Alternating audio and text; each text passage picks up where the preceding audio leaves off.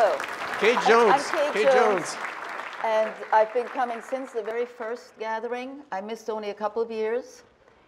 I have personally met Martin Gardner, had the honor of being overnight at his house.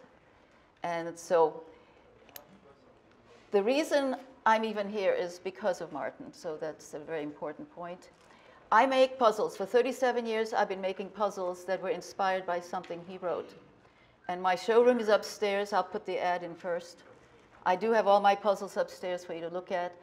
They are beautiful, they're playable art. I go to a lot of art shows where I bring them to the general audiences, not to the mathematicians. So I'm doing the pioneer work out front for playable art that's based on math. So please see if you can find the depth of mathematics in what my work. So each year I have come to do a special little thing, uh, mostly in poetic form, mostly in philosophical form. And this year's not an exception.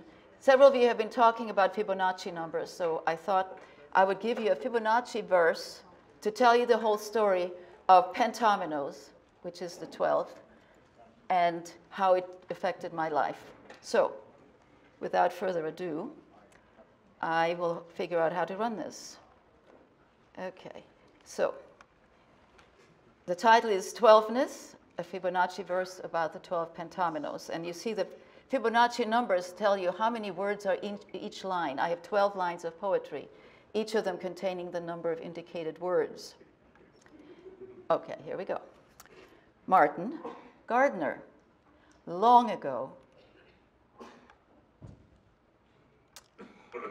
wrote about pentominoes, and my machine's not working. Brainchild of young Solomon Golomb. It's not working, people. I should have rehearsed this. Okay.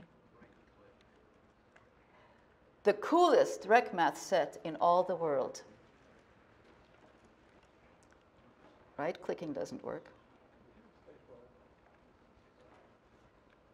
How about if I click it here? All right. Soon, everybody played them. Gabriel made them. Even Arthur Clarke became their addict. It's in his book. Through a feat of fate, along came Kate and started a business because she could, founded on 12 pieces of wood. And this one set begat lots more combinatorial puzzles by the score as awards rolled in and ribbons flew and a beautiful mathematical product line grew, lovingly crafted, sold only in our traveling store. That's what my booth looks like when I travel around. Eye candy. As decades flowed by, the pence we'd named quintillions stood ever in first place, and their fans grew by the millions. Their shapes showed up in a whole parade of other creations that we made.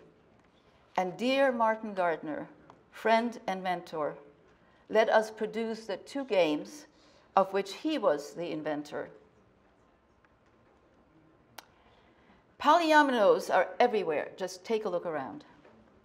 On floors and walls, on every web page, as pixels they are found. From the singularity to infinity, particles join in ever more fanciful arrays.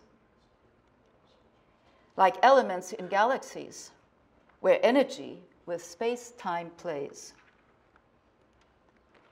Then living beings happened along, from single cells to the giant whale, and played with variations, inventiveness at every scale.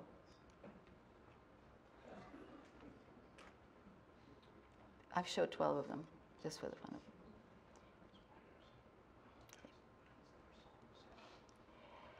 And somewhere in the middle are these humans on a planet blue. They have minds that play with puzzles, math, and the magic they can do. You recognize anybody up there?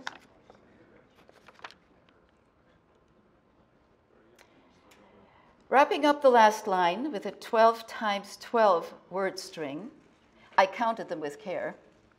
Here is the list of all our games where you'll find pentominoes demand their share. How much time?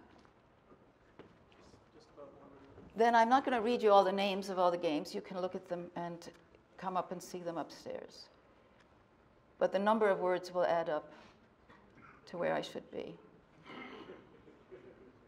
In all these games, there are pentomino shapes that show up and, and are formed and so on. Void and warp 30.